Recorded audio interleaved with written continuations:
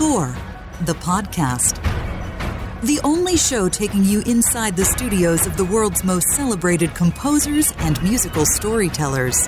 Presented by Spitfire Audio. I'm Kenny Holmes. Hey, I'm Robert Kraft. Also, say hello to composer Carol. Hello, hello. This is Score the Podcast, and we are off and running after a huge season premiere episode with Danny Elfman. Thanks for all the feedback. Uh, everyone seemed to really enjoy that conversation as much as we did. What a thrill that was. And uh, we're right back with another big guest this week. He scored the 2020 Best Picture Parasite. He also did the Netflix film Okja, both directed by Bong Joon Ho. He's uh, Jaeil Jung. Jung Jae Il on paper, Jaeil Jung when uh, you're speaking to him, I think. We'll, we'll I think clear that up. Yeah, I think we got to ask him is he called different things depending which side of the Pacific he's on? Because I think in Korea, you Yeah. may go with the last name first. And in Los Angeles, the first thing you say is, How much am I getting paid? Um, I do want to point out too. This is this is a unique episode for the season because uh, we had a chance to meet up with Jaeil in person last month. He happened to be in town. Uh, he did a concert, which we'll talk about with him as well. Um, but we spoke with him about what maybe five days before the stay at home travel everything shut down so he was able to get back home to south korea but um, we did sit down with him in person so this is the one episode this season so far i mean if things change later on down the road and we're able to meet up with someone in person great. Uh, but this is the one episode that we did in person so it'll sound a little different and uh, the video clips that we post on our social media and stuff you will see us in person. So we're not breaking the rules. This was done before the fact. Um, but we're excited to talk with uh, Jaeil about his great work on parasite and uh, a lot more to come with that. We do have uh, to thank uh, our sponsor before we get to anything though robert Yeah, Spitfire. We're so lucky to have them because they're really they're a great fit for our podcast because they make the tools that many of our guests use. I mean, they put together these libraries. Um, I mean, one of the libraries that is extremely popular is the library they created when they worked with the estate of Bernard Herrmann and built a suite of all his sounds. That's it. I Thank you. hear that that's not, whenever that's I not step the in the Spitfire shower. sound. Don't worry, that that's not what you'll get if you get the Bernard Herrmann Composer Toolkit. I thought that was a Spitfire sample right there. but that's part of the Bernard Herrmann Composer Toolkit, those crazy psycho sounds. And uh, you'll hear a demo at the end of this episode. Yeah. In case you have a horror film on the docket coming up, this is a library you might want to get. Uh, we also want to mention Spitfire's new Composer magazine. They do videos and written interviews uh, with some of the composers of the biggest shows and movies, uh, including shows like Ozark and Handmaid's Tale, which we love. And uh, they recently did one with uh, Justin Hurwitz from La La Land, who was a guest on our show last year. But we don't want to forget the most important asset we can bring to the fabulous listeners of Score the Podcast. What could you be talking about, Robert? We have a deal for you. We got a cookie for you, is what we have. We got a cookie for you. Is right. We got a cookie for you. We got a cookie for you. And we have 20% off your first purchase. It's good on over 50 different Spitfire libraries. So you want to be sure to use the promo code SCORE2020. That's all one word. And it's a limited time offer. So you should get in there and use that promo code to elevate your music. Remember, it's SCORE 2020. Lock and load. Limited Get time. yourself- Don't wait. If you're waiting around, you're blowing it. Yep. Yep. Get a just great get it library. done. Get it done. Uh, a little bit of news broke this week. Um, Mm. Exciting news for uh, Daft Punk fans. Uh, the director Face to face. Sorry, Dario Argento uh, has a new film that he's, I guess, going to start working on um, called Black Glasses. And uh, Daft Punk happens to be huge fans of his, and they are scoring the film. You know, their last film was Tron Legacy, they did with uh, Joe Trapanese, and their last album was in 2013, Random Access Memories, uh, which we talked about with Giorgio Moroder last season and uh, with Joe Trapanese on uh, Tron. So if you're not caught up on season two of Score the Podcast and you're a Daft Punk fan, check those episodes out. But exciting time. And Robert, how sweet is that for a director to get a call from Daft Punk saying, hey, can we do it? It's just awesome. I mean, first of all, Dario Argento, who is known to mostly an art house audience, Yeah. just got the elevation that any director would dream of. And also just coolness factor. I mean, working with Daft Punk on a movie score, that's got to be awesome. Um, It's going to blow it up too, right? I mean that they're Blow just they're bigger stars than the film will ever be. Yeah, and uh, for those of you that love documentaries, there's a new documentary that's been available for about two or three weeks, which is 20 years of Coachella, and uh, it's been out there. And one of the highlights of the doc is the performance of Daft Punk at Coachella.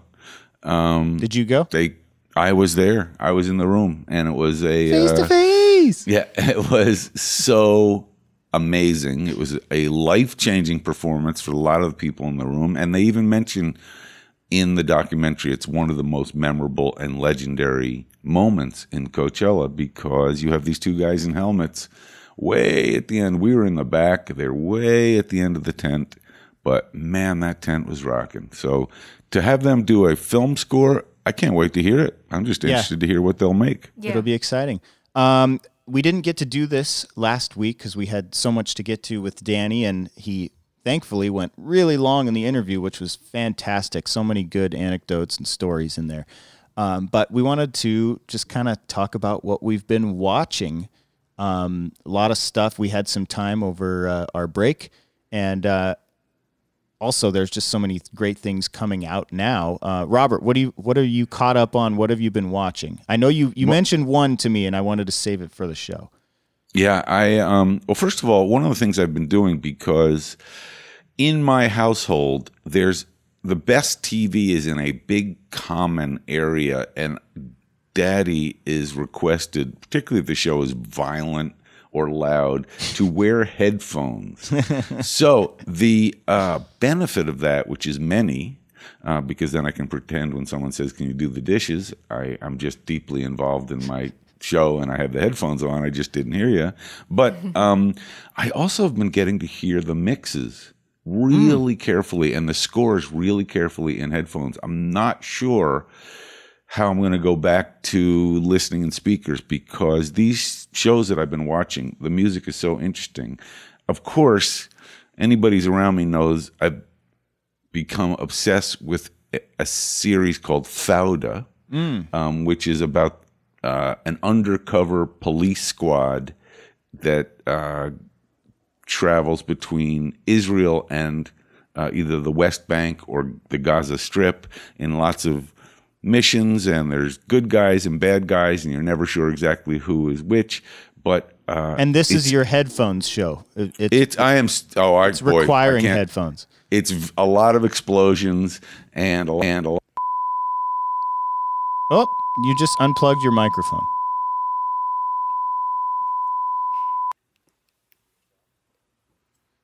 Okay, Robert, are you okay? what happened there? Um, I I sort of it's one of the perils of the Zoom combination recording situation. I survived it, but I must sit very very still. Robert has a problem lesson. sitting still. So this we're, we're only on season three, episode two. Robert, we have a long way to go. You're gonna have to. Restless knee syndrome is not a good companion for all the things that are plugged into my oh, computer. amazing. Because I knock one wire and see ya. Anyway. so where were we? Fauda, Fauda. It's- explosive, violent. We should watch and it. and loud and watch it in headphones. But one of the great benefits of watching it in headphones is you get to hear an incredible score by a composer I wasn't familiar with. His name is Gilad Benamram, B E N A N R A M. I believe he's an Benamram. Israeli Benamram. I believe he's an Israeli composer and clearly capable in both the world of orchestral composing and electronic composing because part of the score is very emotionally string based and orchestral and part of it is really contemporary propulsive beats and electronics. So he's great. Um, the other shows that I'm watching, amazingly enough, also in headphones, are, are scored by the same composers. Mm. Each both shows, Danny Bensi and Saunder Jurriaans. They score Ozark, awesome season, Yeah. and Outsider. Oh, the also outsider was so good. so scary and cool and freaky. And the music for both was incredible. And I can now tell you the mixes on both sound effects, music, dialogue, super interesting in headphones. I recommend it. And the benefit is you don't end up doing the dishes until later in the evening. How about too?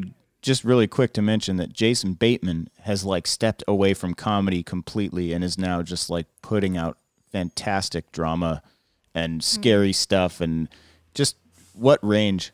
I don't want to get too Range- much into that, but No, you're absolutely right. Because when you look up the credits, you realize it starts with produced by Jason Bateman, written by Jason Bateman, episode one directed by Jason Bateman. You think, wow, stars in the show for a bit. and yeah, on camera. I have been watching first off um, the the Last Dance, which is Love the it. the documentary series that ESPN and Netflix are doing on the Bulls' final season with Michael Jordan.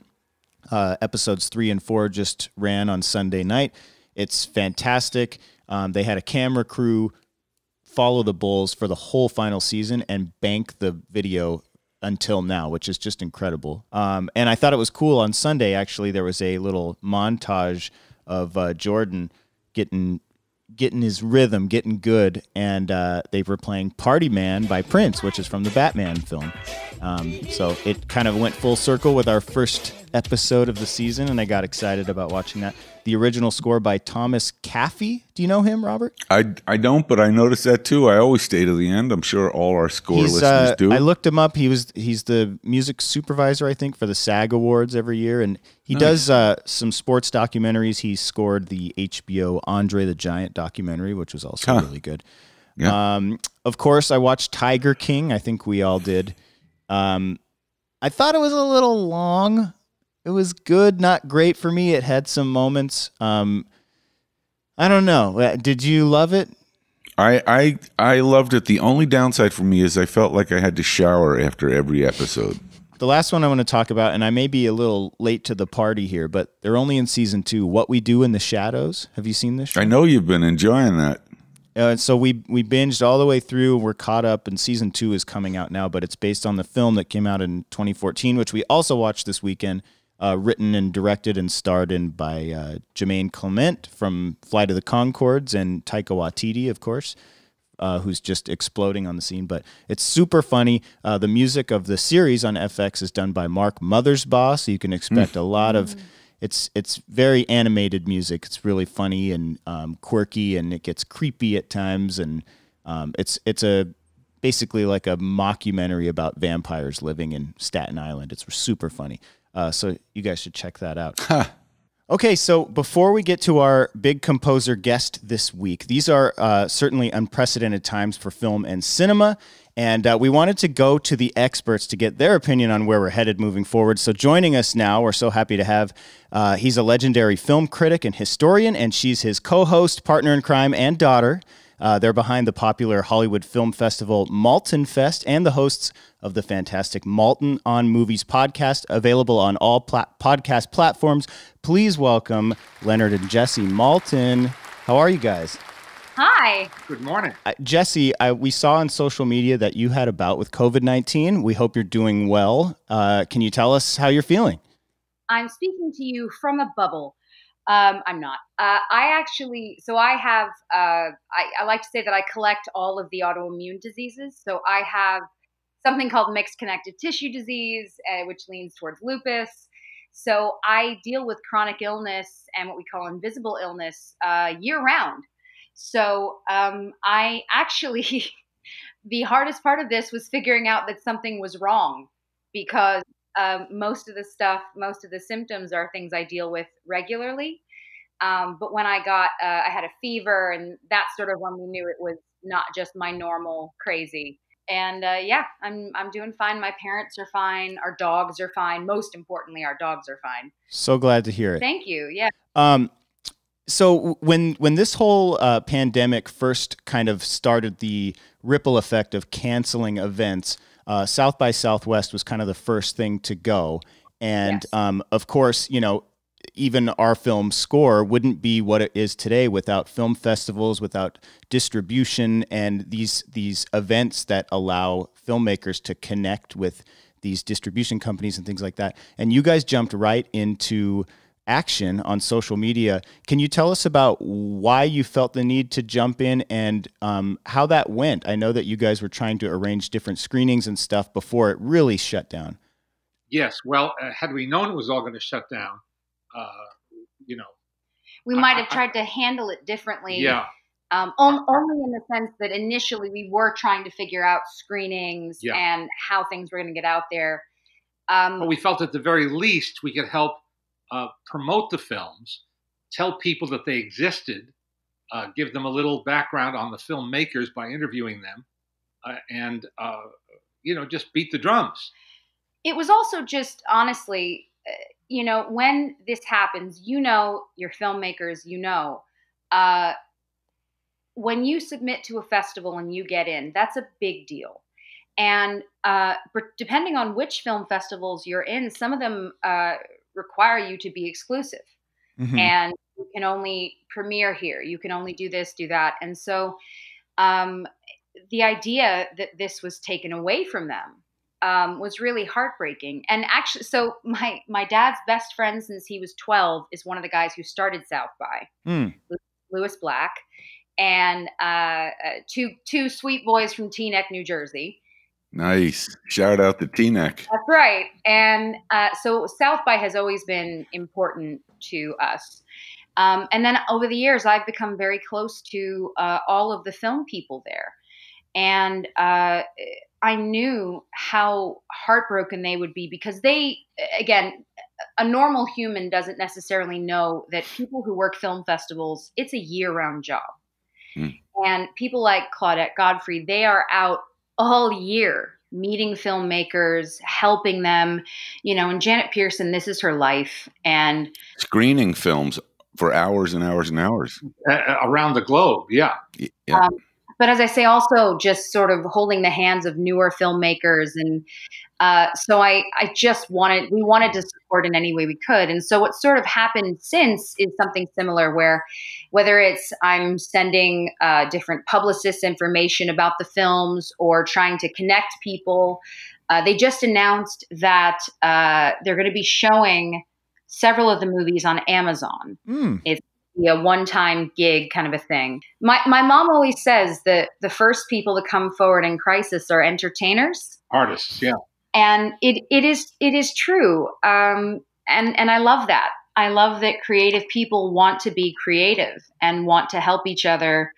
And um, even if it's just someone interviewing somebody, like it, it's it's beautiful. I think it's beautiful that you acknowledge that, and it's been wonderful in some ways to be reminded of the explosive creativity that's out there. I mean, of course, we're all watching the internet and seeing every day the incredible parody songs and Oh God! funny memes, and people have gone to the ends of the earth to be creative and funny, and Because they have to. Yeah. we have to. You're Yeah. right, That's who they are, and they can't just sit by and twiddle their thumbs. of course, and it's a great platform also just to be creative.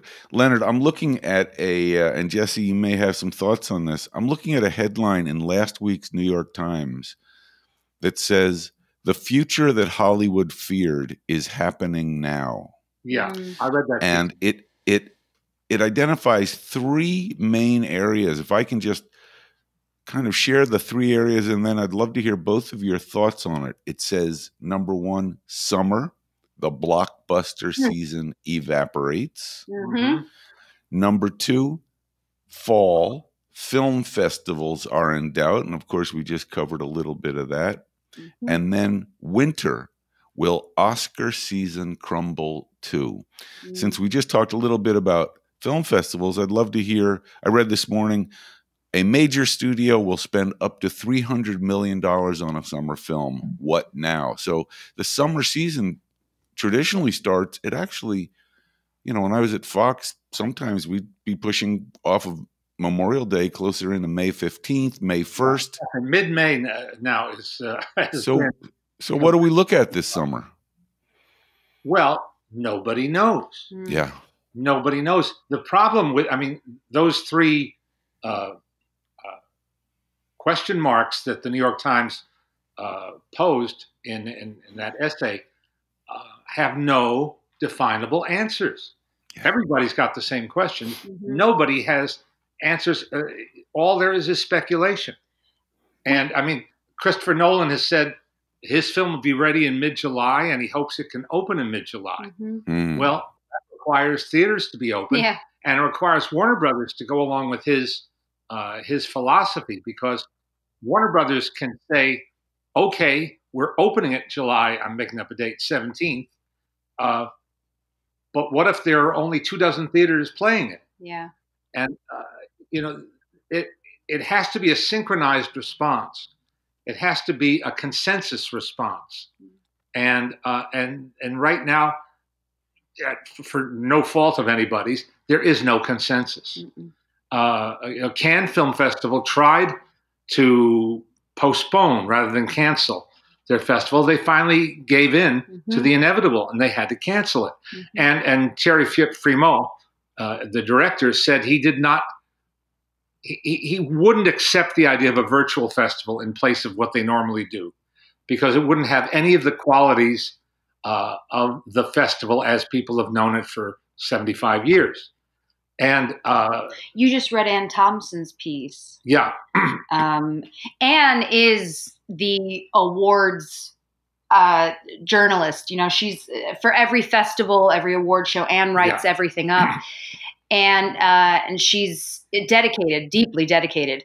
Uh, and she was just writing about this, saying, you know, perhaps it will be something where there are uh, film festival branded screenings.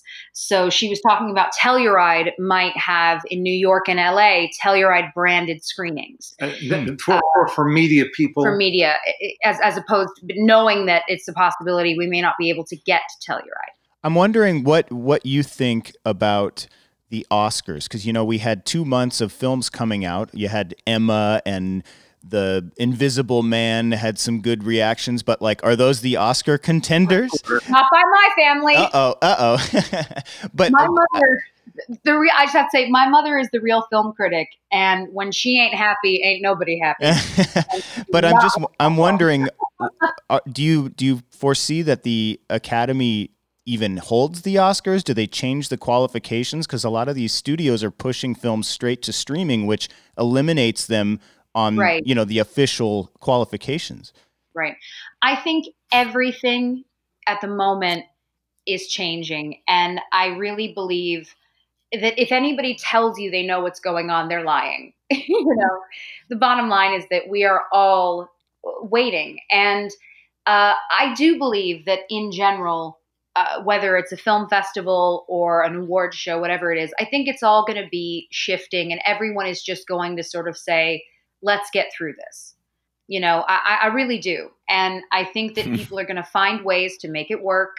So whether it's that it doesn't, ha- maybe it's that it has to be streaming for X amount of time, or it has to be sent to all of the uh, um, academy members. academy members you know yeah there's a lot of options for what can happen and the truth is because we have so much technology we're very very lucky that during all of this we have 7 million ways of speaking to each other watching something you know really you name it it's it's mind blowing you i'm sure you guys have seen uh, whether it's um, a John Krasinski show where the cast of Hamilton performed. Yeah. You know, uh, uh, all the late night shows are having musical guests on, and the musical guests are bringing in their dancers, and you know, it's it's it's incredible. So I feel like I feel like the Oscars will happen if nothing else because they will want to make sure they happen. You know, they will want to make sure that that that they say, no, no, we're not going to be knocked out by this we're going to figure it out. Maybe there isn't an audience. Maybe it's people backstage coming out. You know, there, there's a lot of options, but I feel like everybody is in the same boat and people want to have some kind of hope. Uh, we were talking about um, animated films are still being made. Yep. Uh, very carefully. Yes, and, But- and post production on some big movies Yeah. is continuing because they've figured out uh, workflow systems Yeah. uh, where people can work at home and, uh, uh, and securely and continue to, to be productive. So, so films are still being uh, Mhm. being made uh, in some cases, mostly you know uh, uh, They have to live be mo- action films with heavy visual effects Yeah. components Yeah. and animated films. Or films that that had finished shooting and are just in the post process. Leonard, have you have you seen anything like what can you compare this to? You've been covering films for a long time. Is there anything close to what we're seeing? That's an easy question. The answer is no. Mm. I mean, you know, what we're going through is truly unprecedented. Yeah. Uh, and, and we're all in the same uh, storm tossed boat. Uh, no one is exempt, no one is immune, uh, no industry, no business, no, uh, uh, no facet of, of daily life is unaffected. I just want to come back to one thing that we were just tipping towards, and it was really, in some ways, you've already answered it, which is no one knows. The curious thing, and we're all wondering to see what happens. Some of these businesses were already moving towards a precipice of can they survive? Can bookstores survive with Amazon? Can movie theaters survive if everyone likes staying on their couch? My question is does this force a a crumble in the precipice of the the movie business. I don't think so. Mm-mm. Oh, good. Just as, and and there was one precedent. Uh, uh, remember, in the days following 9 11, uh, people stopped traveling for business and they started, they didn't have Zoom, but, you know, there was already uh, something equivalent to FaceTime. Yep. And, and people started saying, have a, a you know, your video business conferences. Uh, don't do it in person. And that lasted for a little while until the, you know, the sense of urgency eventually subsided. Uh, so people still want to face each other for real. Mhm. And in the same way, what this uh, experience has done is it's introduced everyone to streaming movies at home and television shows at home. Uh, you know, people who hadn't done it yet, who hadn't hopped on that bandwagon yet, have now joined the crowd. But does that mean that the day, the eventual day that Marvel opens its next movie, Black Widow, on a on a Friday or late Thursday night, going into a weekend, that millions of people won't want to go to a theater, and if there's theaters open, all of that. But it, it, does that mean they don't want to go out to experience a movie with a crowd of like-minded folks? I, I don't think so. Does any does anybody want to stay home twenty four seven? I don't think so. Mm-mm. Uh, Now, will that mean it's even tougher for the indie movies Yes. to survive? That's been true for, for 15 years. Uh, you know, the, the, the theaters that specialize, uh, the theaters that come together for that art house convergence every year before the Sundance Film Festival uh, to compare notes and to help each other out, uh, with, you know, as they do, they, they've been struggling all along and fighting the good fight. yeah. There's going to have to fight harder. And the thing is, I mean, as you say with Zoom, we've actually, so our podcast, we have only ever recorded in person with our guests. And That's for four years. four years. Same. Yeah, that's how we we normally do it too. and that's Yeah. the thing is that especially we sit with someone for an hour. And you know, eh, certainly if you don't know the person ahead of time, it's just impossible. And obviously, like this would be, we would love to be sitting with you right now.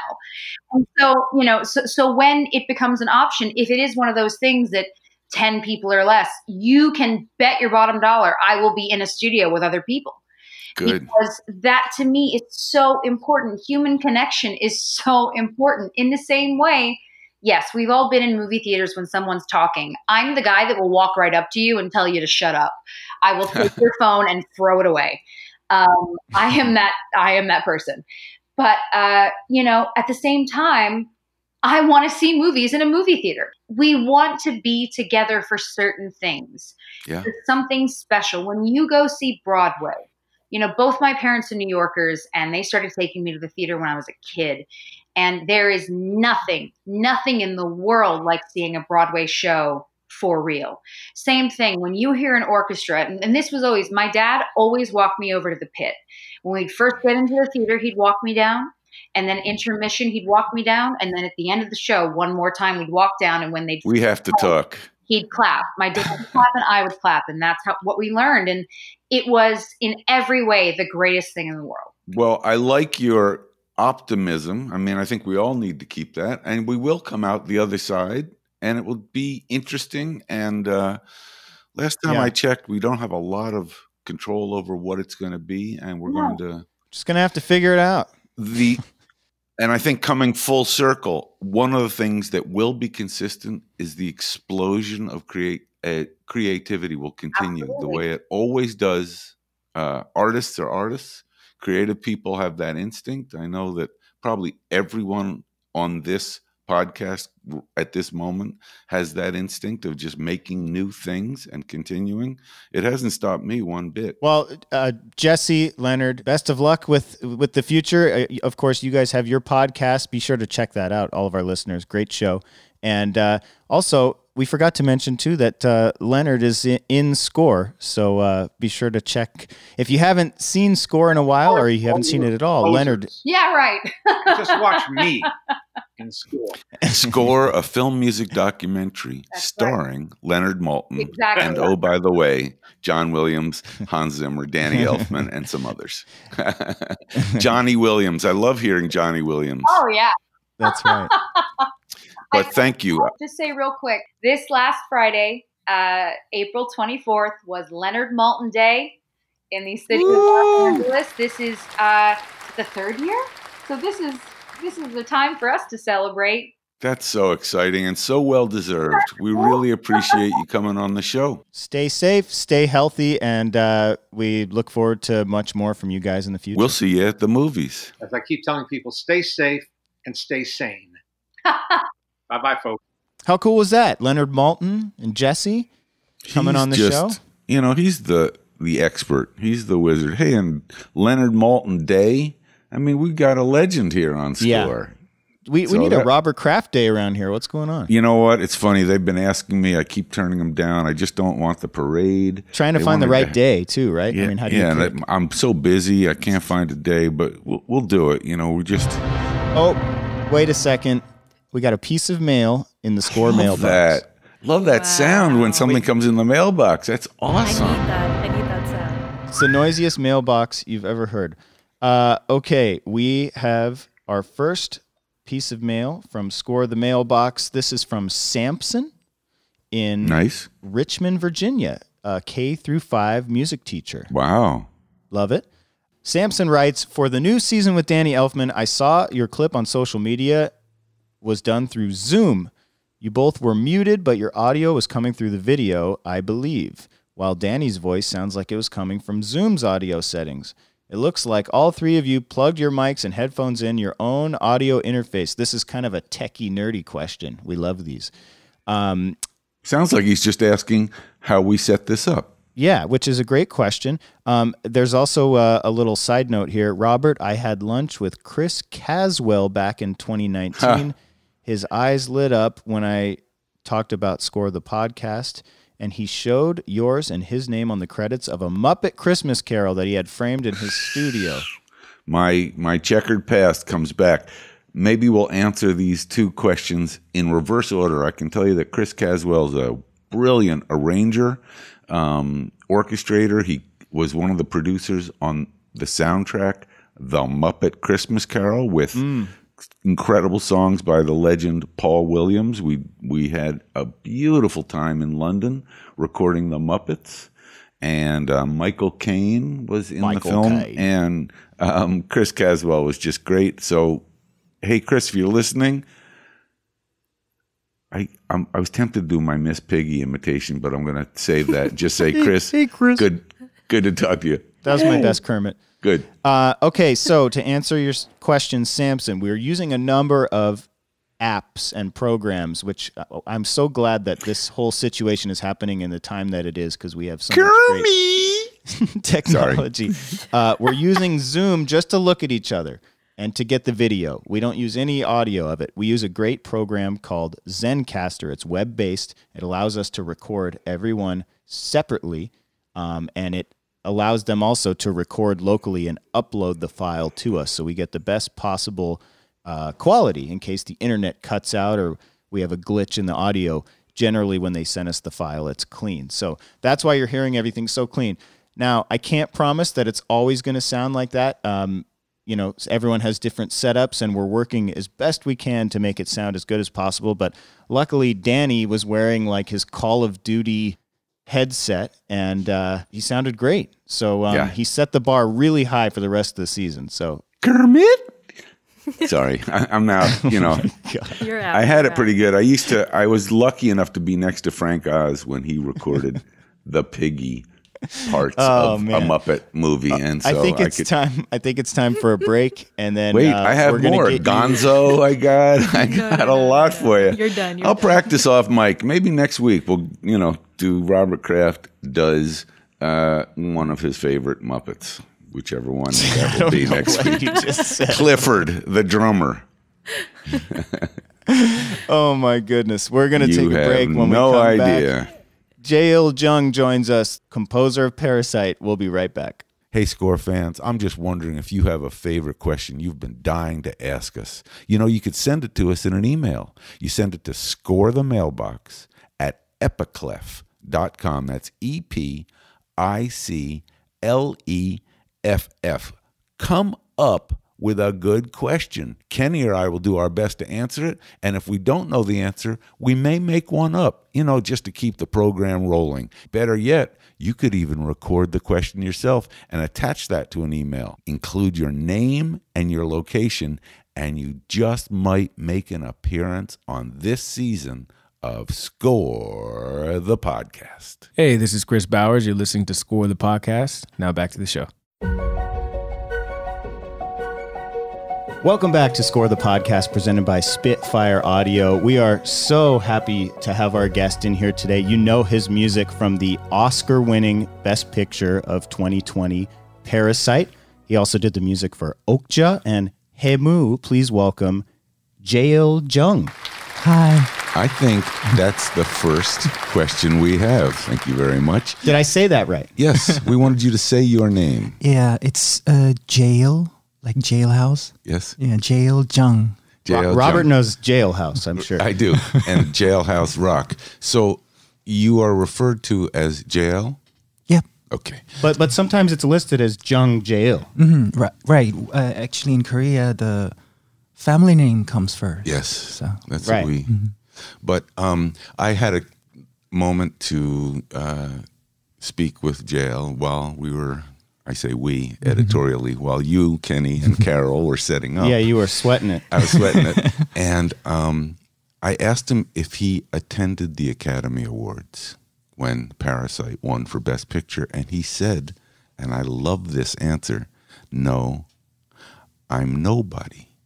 And I thought, you were nobody.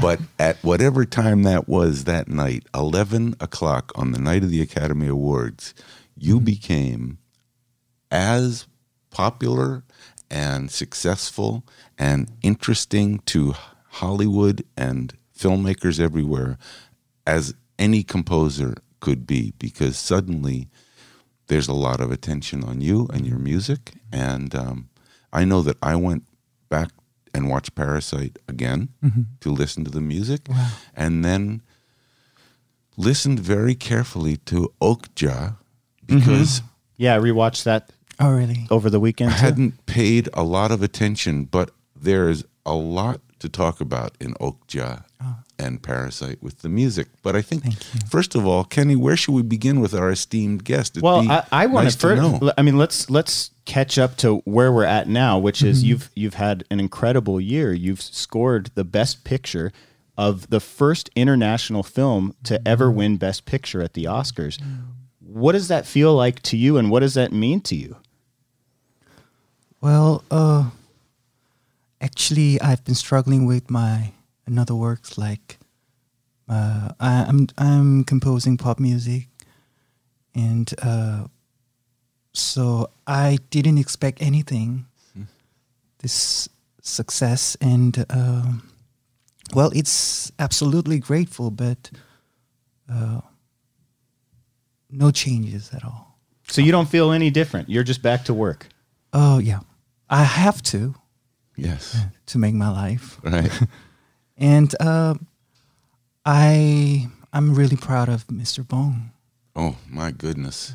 Just- True, did- truly amazing. Does he like to drink like he says he does? Yeah, I um first of all, I'm amazed by uh, a couple things when you say Mr. Bong. First of all, as a filmmaker, mm-hmm. it's just incredible to have someone with that kind of imagination uh-huh. right. coupled to that kind of filmmaking skill. Mm-hmm. Sometimes you get one or the other. Mm-hmm. And one of the f- facets of his imagination is hiring a pop musician that, unless I didn't read all of your biography correctly, before he came to you, had you been interested in or had experience scoring movies? Uh, well, to be honest, I'm a cinephile, one of cinephiles, Mm. but I'm not that interested in uh, composing the score uh, because I had no confidence at all. hmm Uh, but one day he just found me. He just came to me. Do you know how?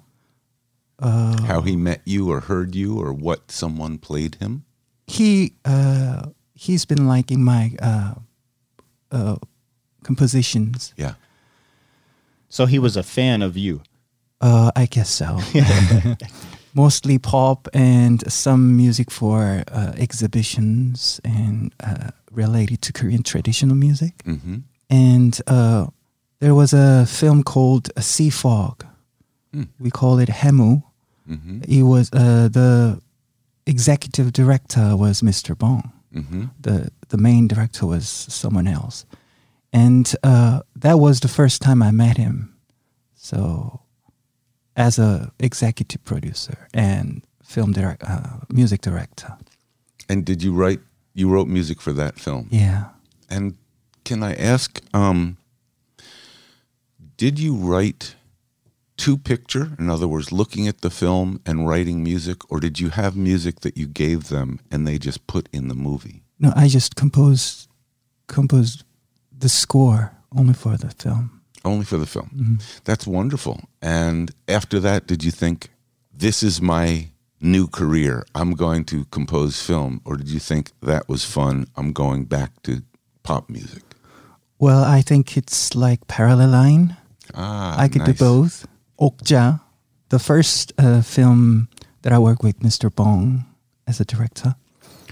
Uh, that was the first time I really like our filming. Uh, make the score is like this. I really find it interesting. That was the first time I could do uh, a little bit better next time. When you first saw this film, How could you find this? Actually, you know what? I really wanted to uh, release this OST. yeah, the soundtrack I wasn't failed. released. Right? Hard to find. We're we- we're wizards. And this cue is unbelievably beautiful. Thank you so much. It it transcends pop music to be genuine emotional film music. Thank you so much. So, w- w- in talking about Okja, Let's let's tell our listeners what we're listening to. this is the end credits Yeah, yeah. um, music from the film, which is Listen to this. it This is- incorporates the theme of Okja, but it's so beautifully orchestrated. Uh, recorded in Seoul. in Budapest. Budapest. Wow. Everybody goes to Budapest. When you first saw that film, hmm um, obviously the Okja wasn't probably in the picture. No. Actually, uh, I just saw uh, completed Okja in the theater. Oh, it's amazing. For the first time? Yeah. what did you score? A, a, an animation of Okja, or was there nothing? 50% of animation. We should explain to our listeners also. Yeah, if you haven't seen Okja, first off, it's on Netflix and it's a it's a great film. Um, how can I describe it? It's about uh, a, a, an American company creating a, a genetic animal, super, Super pig. a super pig, to um, create a type of meat. Um, but it's the the animal is is given to farmers around the world to to raise it, um, and a young girl befriends Okja, and it becomes basically her her best friend, her like you would with a dog, and uh, she's unaware of what the ultimate fate of Okja is, and then it's her quest to bring her home, basically. Um, but Okja is a massive super pig that's digitally created. Um, so when you you're getting this picture, you're seeing 50% animation Yeah. how how difficult it is it is it to score to uh, an animal that you you can't really see or feel? Uh, well, uh, the surface was not important to me. I just fell in love with the script at the first time. Mm. So it was not that hard to see 50% of Okja. Uh, yeah, I just followed the stories and director's intention. And did you, because we're always so curious about the way that the director and the composer relate to each other, uh, and there are all kinds of different varieties of that. Does Mr. Bong, did he come to your studio and sit with you? Yep. And were there a lot of people in the room, or was No, it just, the- just two? and That's you- what I really like. Oh, that's so. that's really rare. Yeah. It's Oh, really? Oh, yeah. Because I think often, if that takes place, which it has to, the Mm-hmm. composer and the director, there's often a producer or a studio executive Uh-huh. who will come to also make sure it's okay. Uh-huh. Uh, and so, but I think Mr. Bong has so much respect and independence Mm-hmm. that I have to imagine what he thinks is okay. Everybody says okay, Right. and now, of course. But what was what was that like? Did you were you nervous to play him your music? Sure, every time. Very nervous. And did he just come and sit down and you would play something and wait for his response? Yeah. Did he like everything?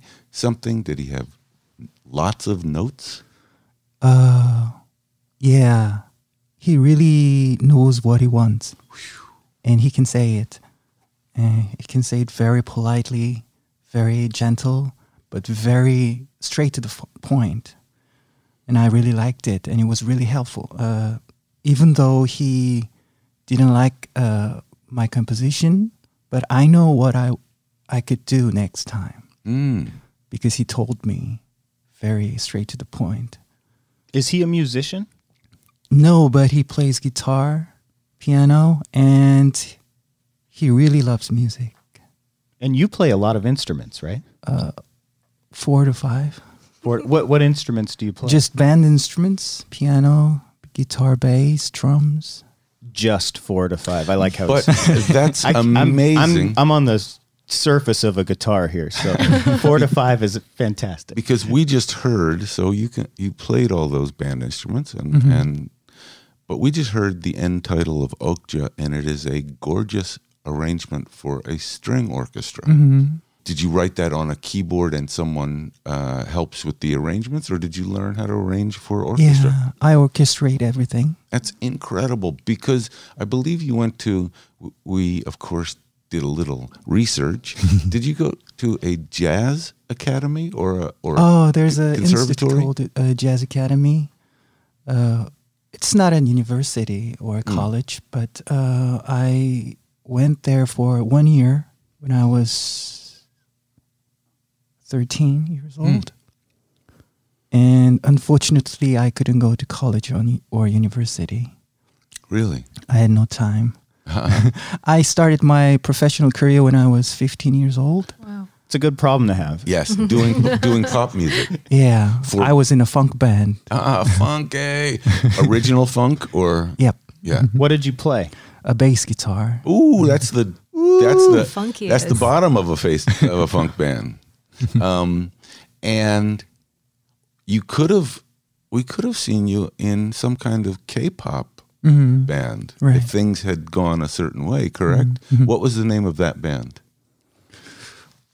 Oh, oh, I can't put my finger on it. Sorry. But did you Too think, many things have happened since. Did you think that you would that was your career path, being a bass player in a band? Uh, for several years, but uh, at some point when I was like, oh, I just released my first solo album in 2003. Mm. Uh, from that time, I just started my career as a solo artist and composer for many uh, for various genre. And uh, the solo album was very far from funk or pop. It was like uh, pseudo Bjork music, electronic, and uh, obviously the uh, orchestral things. So, Is this something you were experimenting with while you were in the band? uh, yeah, And then you just decided to did you leave the band or did the band break up? band break up. Yeah. Got it. That happens occasionally with bands. You know what I love about you is you you seem to have all these different tools and mm-hmm. and it seems like you're just when you have a goal you just learn. You'll just figure it out. Uh, and I I- feel like to. that's the that's the underlying story with a lot of successful composers is mm-hmm. you have to be able to adapt. Mm-hmm. Are you constantly studying different types of music and learning? Um, because you Yeah. didn't. You said you didn't go to college. No. So how are you learning all of these things? uh, by myself. But I, I was really into classical music and electronic uh, while I was doing the funk band. It was very great opportunity for me to be in a beautiful band members and uh, doing funk things. But uh, I've been constantly uh, studying those kind of things, orchestral and electronic.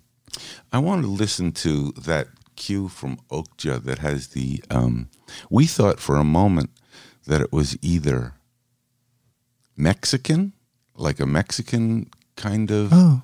um, or I thought it was maybe from the like a cue in the movie Borat, which was in Kazakhstan. Ah, yeah. but Carol, It was like a. It, it was when Okja was running, right? It was kind of like running of the bulls. Yes, Mm-hmm. we found out that it was a Macedonian Right. trumpet player. Right. How did that happen? Uh, Jam- his name is Jambo Agushevi.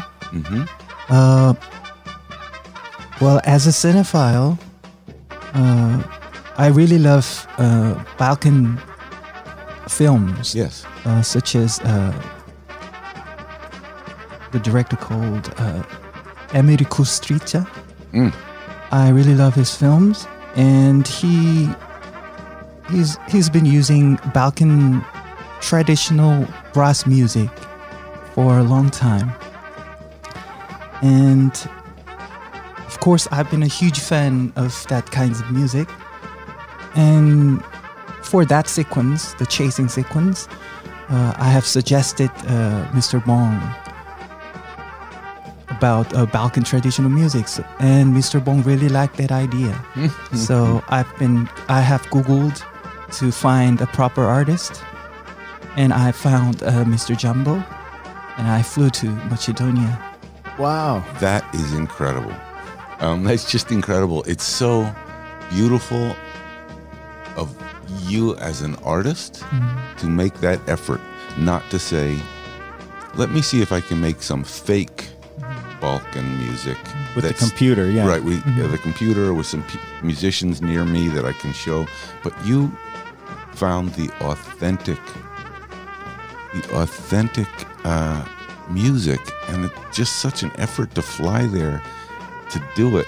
Also, amazing that Mr. Bong said, okay, in a Korean movie about a fantasy super pig, I'm okay with some Balkan Yeah, folk music. that's amazing. Um, I was surprised in Okja. Also, I felt like some of the music may be influenced, and it might be just my ears, Mm-hmm. by a sort of Nino Rota Fellini Oh, music. wow. You felt that? Oh, definitely. Uh. was it accidental? No, no. It was intentional. Oh, good. We tried to Im- imitate uh, Nino Rota and some uh, macaroni western, Definitely. Fellini. Robert, Oh, good. nice call. I it so it also kind of explained the film to me in in a way, mm. and I didn't know if it was your idea or Bong's idea or just accidental, but there's something about Okja that is slightly magic realism, mm-hmm. and f- you know, and a cinephile would say Fellini esque. Mm-hmm. You know, it's not entirely possible that there's an enormous super pig mm. living in the hills of Korea, mm-hmm. even though it looks very real. And the music says or running through the Seoul tunnels. exactly, or coming to New York City. Yeah. But the music says, yeah, sort of, maybe real, maybe not. Mm-hmm. And I thought, this is like a Fellini movie. So and then I tried to figure out how in this movie there could be Macedonian folk music, Fellini music. The beginning cue, if I'm not mistaken, is feels like a strummed guitar. Oh, yeah. Is that you? Yep.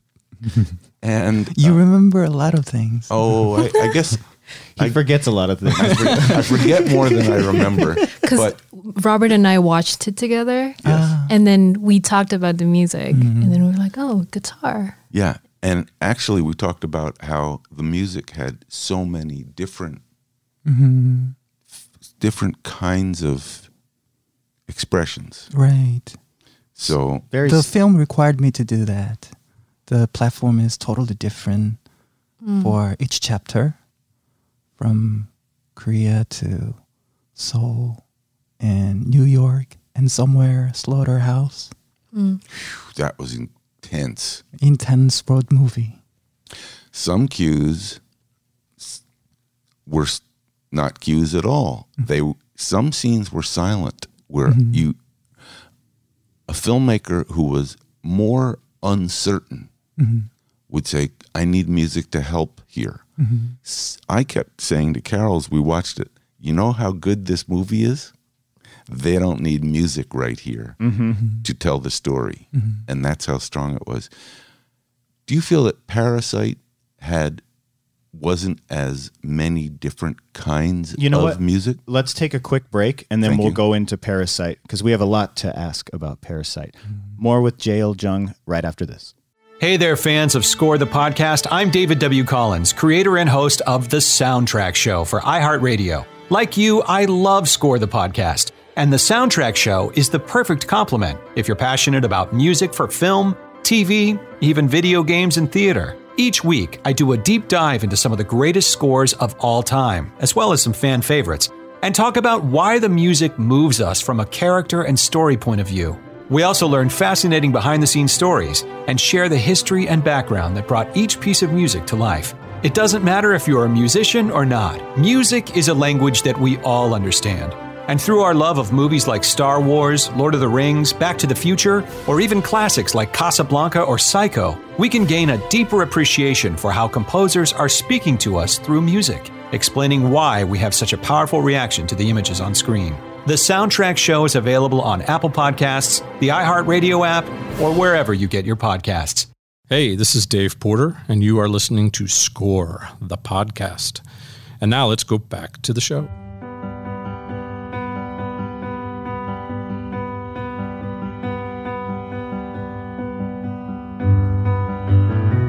Welcome back to Score the Podcast presented by Spitfire Audio. We're here with the incredibly multi talented Jaeil Jung. This is the theme from Parasite. And we were just talking about Okja and how there's so many different styles of music utilized in the film, and Parasite is in in that same conversation. I mean, there's so many different types of music. Um, in the liner notes of your uh, vinyl, Mhm. which we brought here today, Oh. um, Carol, what did it say? The the the, dark, the dark script but hopeful. the script listed the Ah, music as dark but hopeful. Right. That was the first line of the script.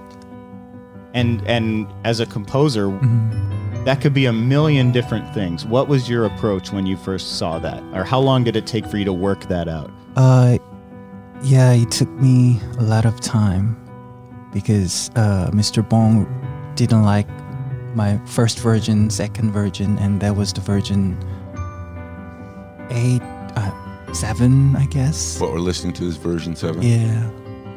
And uh, after the version six has rejected, I just felt very. Uh, well, I just drunk, drunk. Yeah. Did you A feel lot. Did you feel dark but hopeful? I was just gonna ask that. And with Hangover, I just composed this version in the morning. So you got drunk. Yeah. And then you wrote this hungover. Uh, no, I just drunk and woke up in the morning with Hangover yes. and went to the piano. I just uh, play. I just started to play uh, without thinking. That's the best answer I've ever heard. Did you call Mr. Bong that day to say I may have something? Yeah, Well- sure. And he heard it and said, "We're good." Yep. what what's that. your uh, drink of choice there when you're Uh, mostly wine. wine? Okay. Red or white? Uh, I don't care. Composer tip. Composer tip from Jaeil Jung. Get get lit, get hungover, get a hit. and write an Academy Award movie score. Um, so yeah, we were talking about how there's different styles of music, and there's obviously the the belt of faith. I'll just play a little clip of it here.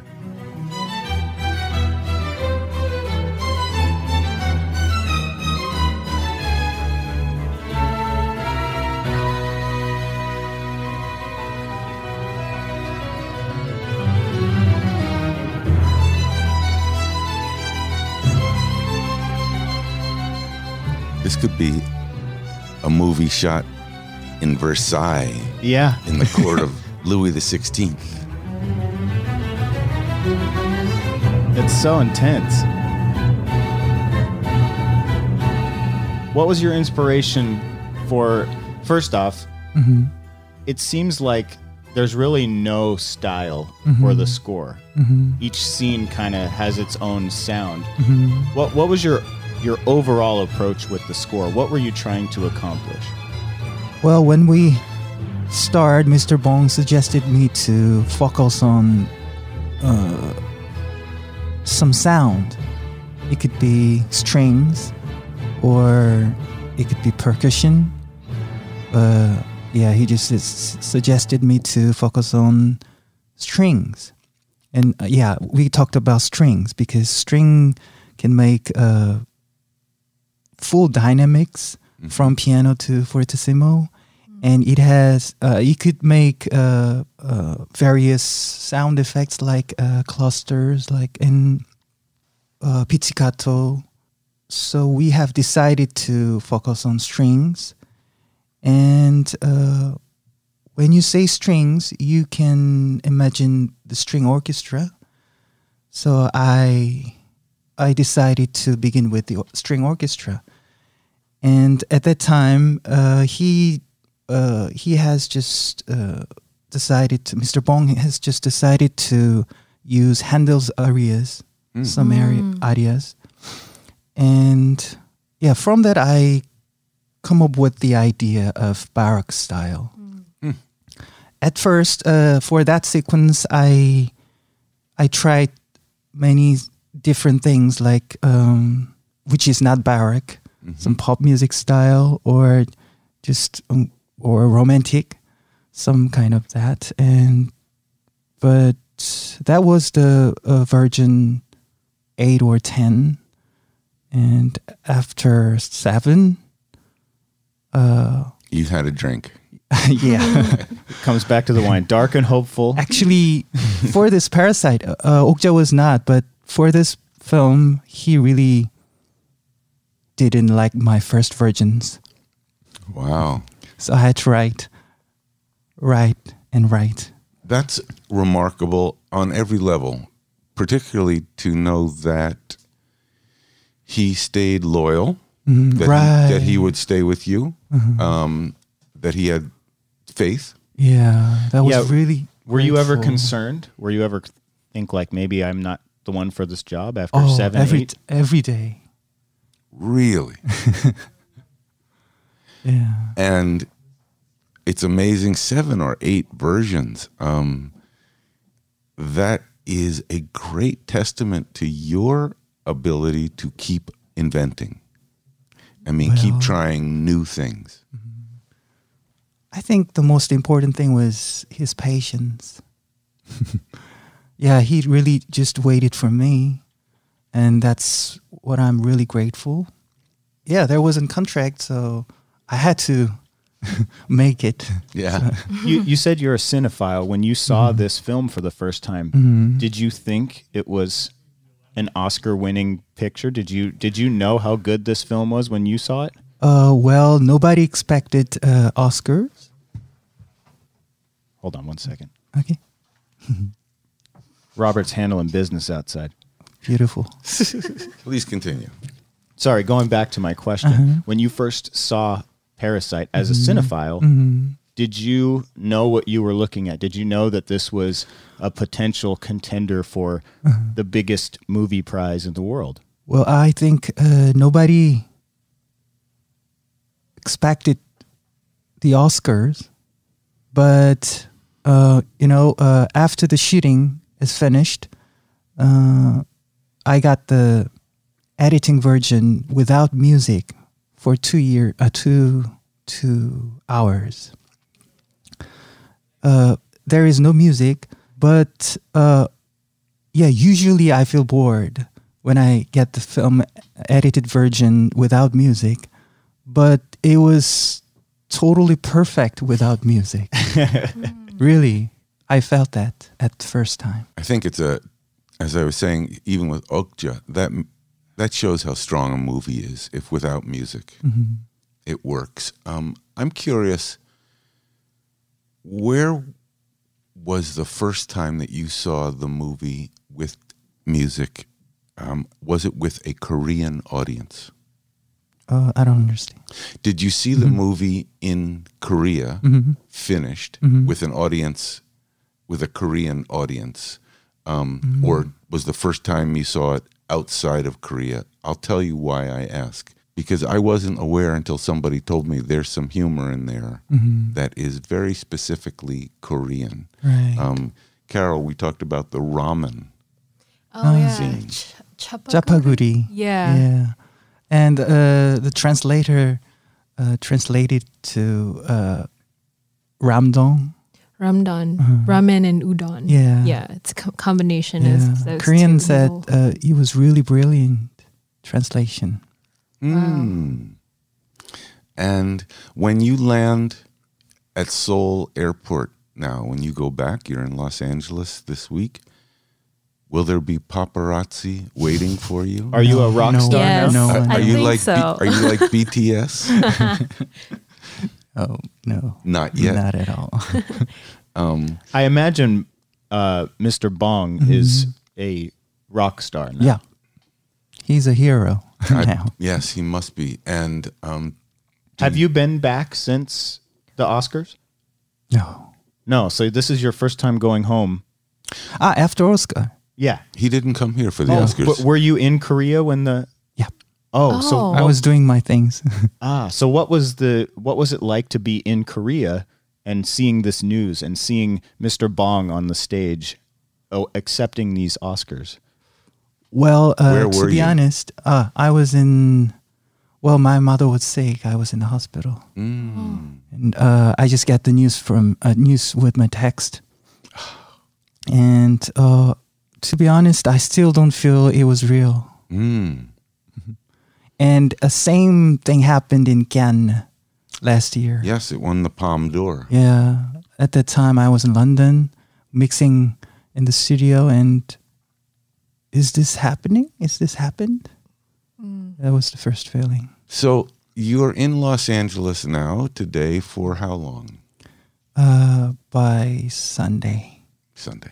And I know we've talked about this a little bit before our Mm-hmm. podcast, but are you starting to look at buying a big house on the beach You're gonna in have Los to be. Angeles? I feel like you're going to be making a lot more trips here. Malibu, Santa Monica. Well, uh, yeah, I would like to walk around. Well, uh, this is the second time to LA. Amazing. First time was the uh, f- concert. I had a concert. Yeah. Yes. Oh, yeah, that's I was right. there. Carol went. And so, Carol, tell us a little bit about what you saw. And did you have any questions about the concert? Yeah, so I, I believe it was a live to picture concert Right. of Parasite, and JL here conducted. Uh, while playing the piano, he conducted a, an orchestra. He was also playing the musical Saw.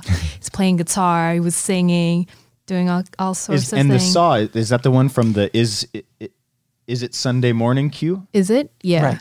This one here. I was. You'll hear it. It's that woo. That was better. Thank you. we should sample that. I thought it was a theremin. Oh yeah, many people think that.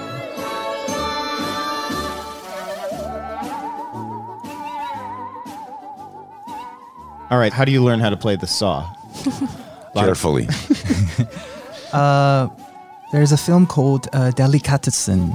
Delicatessen. Yeah. Beautiful. Robert Beautiful knows all about delicatessen. Yes. And I the know that movie. Uh, yeah, there's a sequence uh, of the playing cello and musical saw together. I found it really beautiful.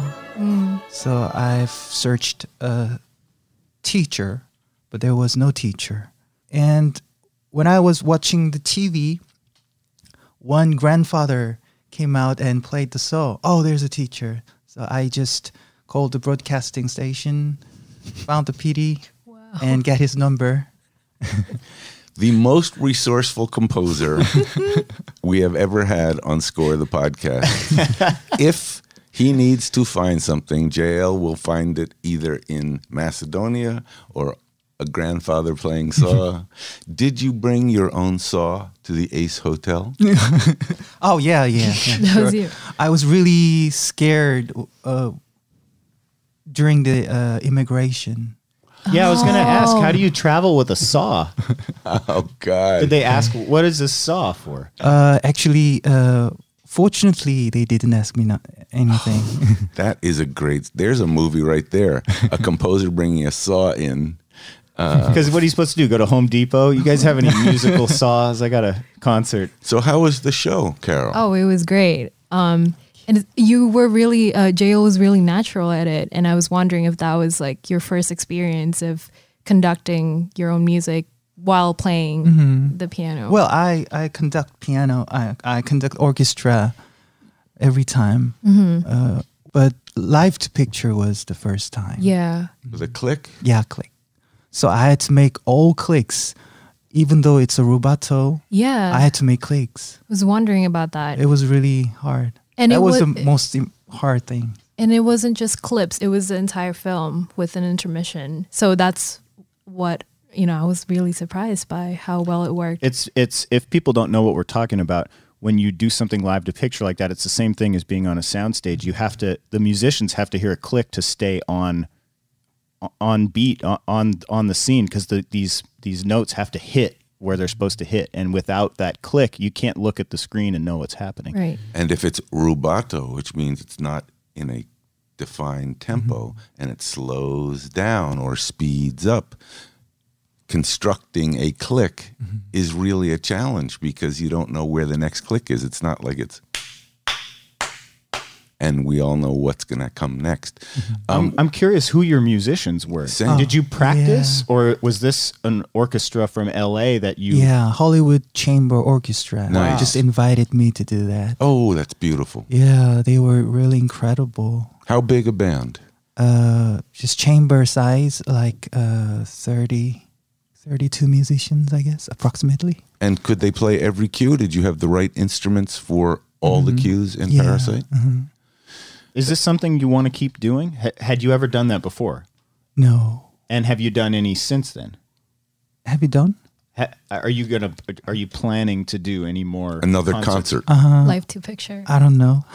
we would like you to do one. Yes, please. Just for us. Score the podcast presents. We'll find. We'll find all the information. We'll dig it up. I think I think that's a wonderful. I think we should do another one. Actually, I Live. didn't expect it's it's working. Mm. You could be work. Could, I can be on the stage. I was thought Yes. Oh, so during the during preparing the clicks. that's mm. amazing. Mm-hmm. And I wonder if maybe in the future mm-hmm. we could do a film music concert with you, but we could have your funk band open the show. so the first act is the funky JLs. and you play your funk band. Then there's an intermission. You go off stage.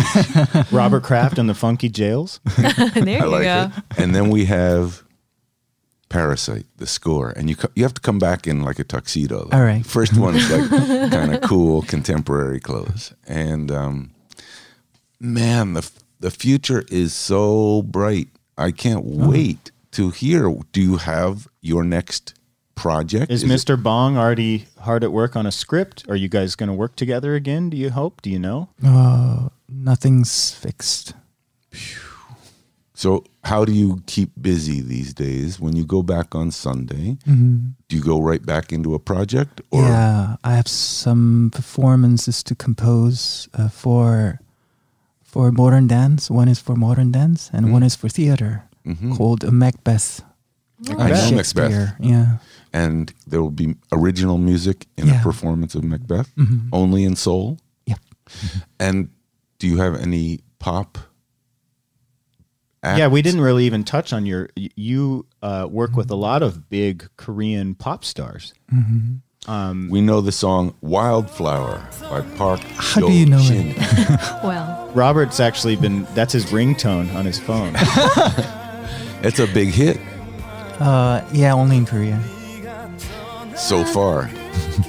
um, do you have any other recording projects coming up with pop stars? Uh, not yet. Not yet. Okay, not May- yet. Maybe a BTS collaboration. Yeah. Oh, they are so huge. So are you. no. yes, th- you are. Yes, Yes, you are. I think you um, need to write the strings for the next BTS single. Yeah, I would love to. Good. I'm going to talk to them about it. I don't know them, but I will find them, and I'm going to do what you do.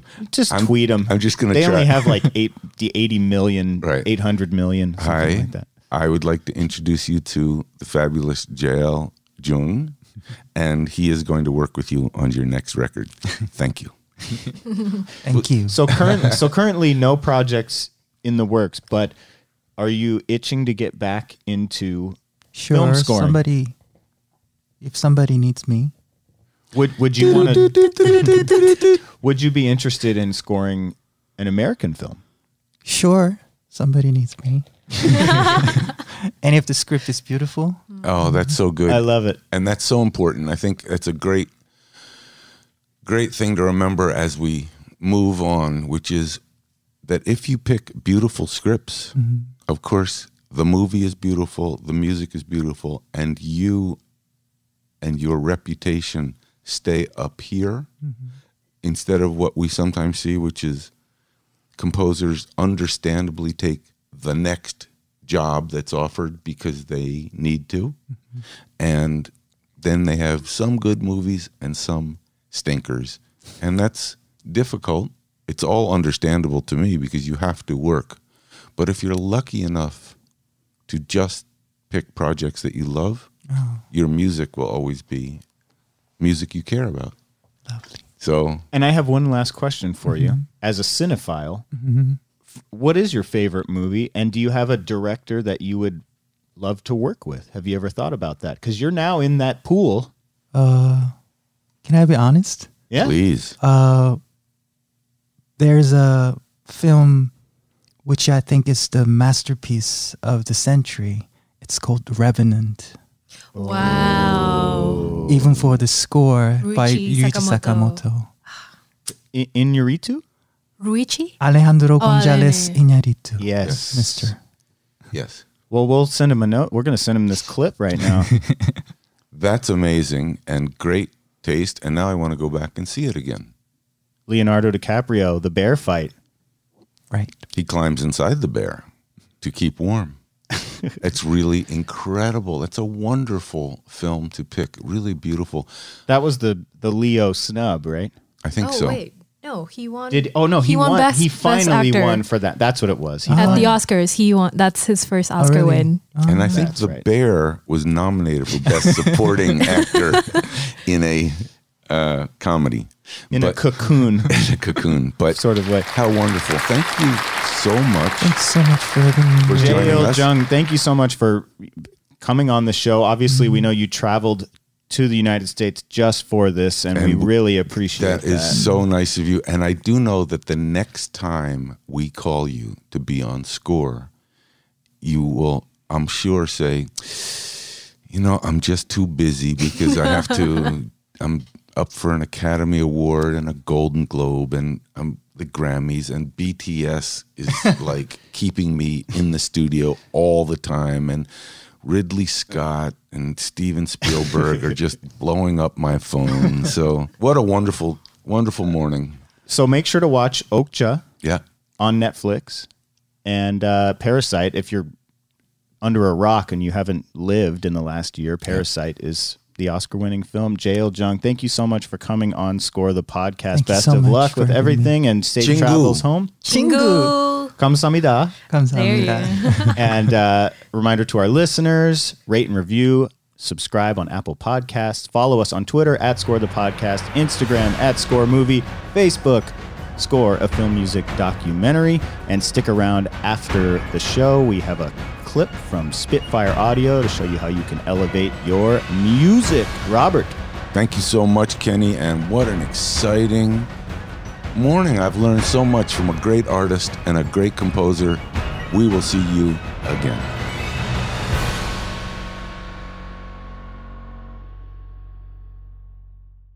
Hey, Score listeners, we are so grateful for the support of Spitfire. Spitfire Audio collaborates with people like Hans Zimmer and the Bernard Herrmann Estate to build sample libraries that elevate your music. You're about to hear a musical demo of what that sounds like. And then again, as an exclusive to Score listeners, Spitfire Audio is offering 20% off your first order.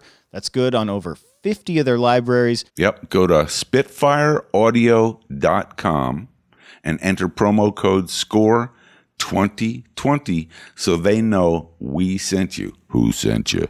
Score We sent you. podcast And- sent me. check out uh, check out this clip right now from the Bernard Herrmann Composer Toolkit from Spitfire Audio. bleep, bleep, bleep. Listen to it in the shower.